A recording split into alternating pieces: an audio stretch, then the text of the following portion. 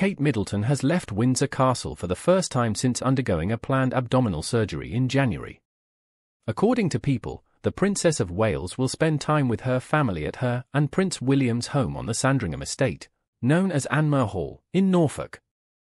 Their three children, Prince George, 10, Princess Charlotte, 8, and Prince Louis, 5, will be joining them while on a break from school, according to the outlet. The Daily Mail also reported that Middleton, 42, left Windsor and is recovering well. She was looking forward to a change of scene and will be able to take it easy in Norfolk while the children let off steam with William. The outlet source added. Kensington Palace announced on January 17 that Middleton underwent a successful abdominal surgery and would remain hospitalized for between 10 and 14 days.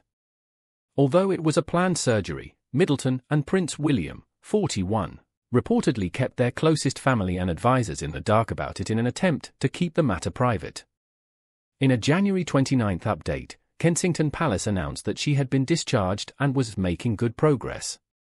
She left the London clinic at the same time as her father-in-law, King Charles III, who was admitted to the same hospital to seek treatment for a benign enlarged prostate. During the surgery, it was discovered that the 75-year-old royal has cancer, which Buckingham Palace announced Monday. He remains wholly positive about his treatment and looks forward to returning to full public duty as soon as possible. The announcement noted, keeping a positive nature about the diagnosis. It's not yet clear what type of cancer was found. The discovery will postpone King Charles' public-facing obligations, but it's not known for how long.